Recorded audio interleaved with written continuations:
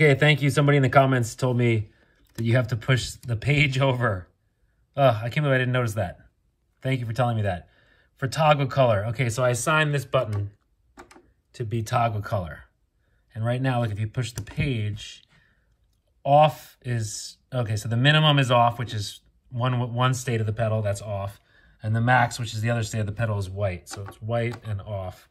You can go, let's see, let's go amber and cyan. There you go, see? So, okay, so what would, what would you want this effect for? So what, the, what they, they give you this option, which I think I've figured out why, is because you would assign the mode control pedal to do that. So it's orange in this in this state and it's cyan in, in the other state. Or you can go purple or blue or amber or green or red. So you can change whatever color you want. Um, so why would you do that? So what you would do is you would set this pedal to be amber when you push it and red when you push it again. Amber when you push it, red when you push it again. And then you would use an then you would use an assign function, and the assign would be pedal mode one, you know, pedal nine mode one or whatever. Um, pedal, where is it? Mode one, pedal nine, right? So then you go to moment. So now I have this one as the source, right? It's still changing color.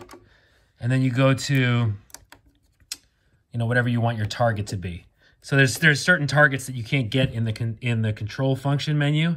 So now you have, so say you want to control input effect AA S max. I don't know exactly what that is. Um, sync the sync rate.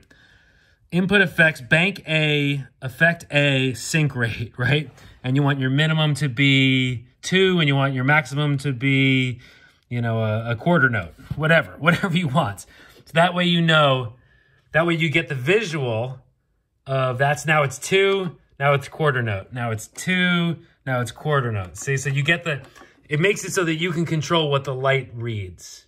That's what it is. So I finally figured that out, which is cool, which thank you, boss, for doing that. Because otherwise, it would just be a, a it would just be a, blank um, light.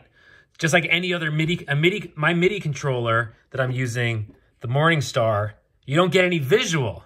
So Boss gave us the option to have a visual light when we turn a sign effects. But it's, again, it's only using these three, or I should, I should say it's only using these nine, anything with a light. So you're to need these for obviously the absolute most important things like recording and playing. It's not like creating loops. Um, but then you only really get these three amazing pedals at the top to assign things to. Okay. Which brings me to what I wish there was. I wish, I really hope that Boss, they could, they could easily, uh, I don't know how easily, but they could make something that looks just like this. A little six pack MIDI controller with the exact same lights. It would basically be the same form function of one of those delay pedals that they have. Because they, they're all, they're, all the Boss pedals seem to have the same aesthetic right now with the same LED lights that are super bright and don't have a dimmer. Um, and they they could they could have a little tiny they could call it like the Boss 600 sidecar, and it would have just six buttons. It'd be a dedicated controller. Um, come on, boss! What I have to spell this out for you? Do I have to, do I have to come up with all the ideas here? So you get a little six button controller, and it has the lights, and it communicates with the RC600, and you get the feedback because right now, all the loopers out there that are using this are saying, wow, this thing has so many functions, and I'm only really getting, I'm going to have to use these pedals to, you know, so I got to hold it down to get to my effects. Now I can turn my effects on and off. Great, but I'd really like to have an external MIDI controller to do those type of things. So a lot of people, I'm sure, are using the Morningstar MC8, the MC6 to control it where Boss should just should just jump on that. They, they could totally seize this opportunity and create a sidecar that, that communicates with the 600.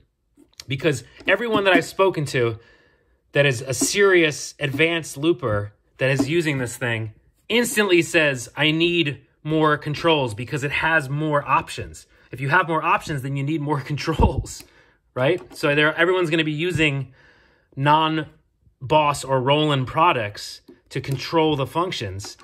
You know, so I want something that looks just like this, that gives the same color lights, that has these really nice buttons. They're a little loud. I noticed at my gig last night, they're a little loud. They're a little louder than these. Well, not too much louder.